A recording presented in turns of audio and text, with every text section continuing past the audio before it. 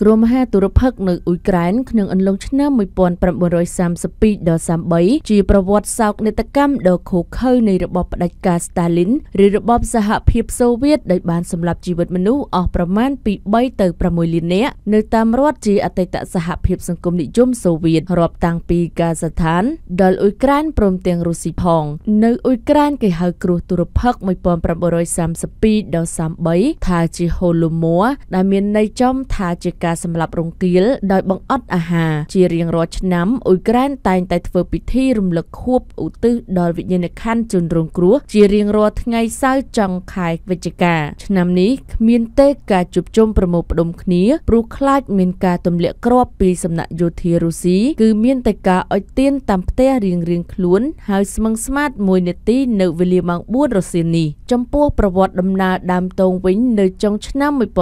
1920មេដឹកនាំផ្ដាច់ការស្តាលីនបានលុបបំបាត់សម្បត្តិឯកជន ហើយរឹបអូសប្រមូលដាក់ជាសមូហភាពទាំងអស់រាប់ទាំងដីស្រែទិន្នផលកសិកម្មការបដូរផ្លាស់សង្គមនយោបាយសេដ្ឋកិច្ចបានធ្វើឲ្យប្រជាជនកាហ្សាឋាន1លានកន្លះស្លាប់1ភាគ4នៃប្រទេស1លានកន្លះនៅតំបន់វ៉ុលកាឬកូកាភាគខាងជើងប្រទេសរុស្ស៊ីការបះបោរនិងការប៉ុនប៉ងពង្វាតមិនយកផលទៅដាក់ជាសមូហភាពបានលេចឡើងគ្រប់ទិសទីបើតាមប្រវត្តិវិទូបារាំងម្នាក់នៅចុងឆ្នាំ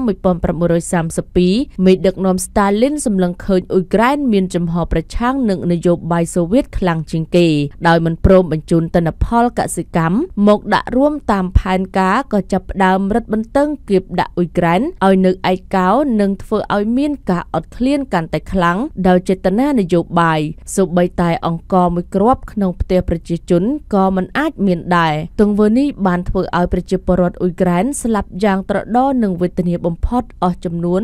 3.6លាននាក់ពីខែមករាដល់ខែកក្កដា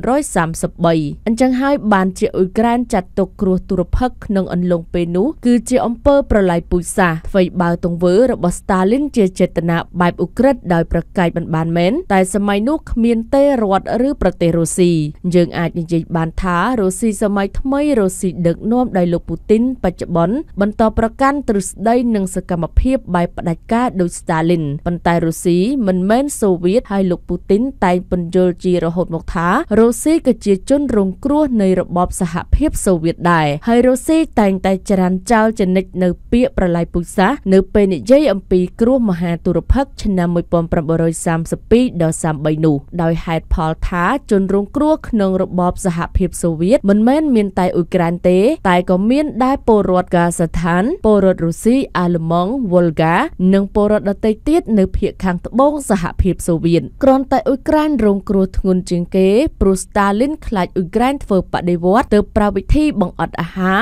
ហើយបំបិតសេរីភាពមិនឲ្យដើរហើរទៀតអ៊ុយក្រែនបានធ្វើយុទ្ធនាការឃោសនាឲ្យសហគមន៍អន្តរជាតិទទួលស្គាល់គ្រោះទុរភិក្សហូឡូដូម៉ូជាអំពើប្រឡាយពូជសាសន៍តាំងពីជាច្រើនឆ្នាំមកហើយជាផ្លូវការមានប្រទេសមួយចំនួនហើយដូចជាកាណាដាអាមេរិកនិងអាហ្សង់ទីនព្រមទាំងសហភាពអឺរ៉ុបបានទទួលស្គាល់គ្រោះទុរភិក្សហូឡូដូម៉ូជាអំពើអក្រិតកម្មហើយរដ្ឋាភិបាលអាល្លឺម៉ង់កំពុងរៀបចំគម្រោងសេចក្តីសម្រេចចិត្តចាត់ទុកគ្រោះទុរភិក្សសម័យនោះថាជាអំពើប្រឡាយពូជសាសន៍ដែររដ្ឋាភិបាលអាល្លឺម៉ង់បានដាក់គម្រោងសេចក្តីសម្រេចចិត្តជូនទៅសភាកាលពីម្សិលមិញដែលនឹងធ្វើការពិចារណានៅថ្ងៃពុធខាងមុខឧក្រិដ្ឋកម្មនេះជាចំណែកមួយនៃប្រវត្តិសាស្ត្ររួមរបស់អឺរ៉ុបអ៊ុយក្រែនទាំងមូលបានរងគ្រោះទុរភិក្សនិងការបង្ក្រាបមិនត្រឹមតែនៅតំបន់កសិកម្មទេនេះបើតាមខ្លឹមសារនៃគម្រោងសេចក្តីសម្រេចចិត្តអាល្លឺម៉ង់ដែលបន្ថែមថាគ្រោះទុរភិក្សនៅអ៊ុយក្រែនឆ្នាំ1932ដល់33ជាឧក្រិដ្ឋកម្មបែបអមនុស្សនៃប្រព័ន្ធដឹកនាំបែបផ្ដាច់ការដែលបានលុបបំបាត់ជីវិតមនុស្សរាប់លាននាក់នៅអឺរ៉ុបរដ្ឋាភិបាលអាល្លឺម៉ង់យល់ថា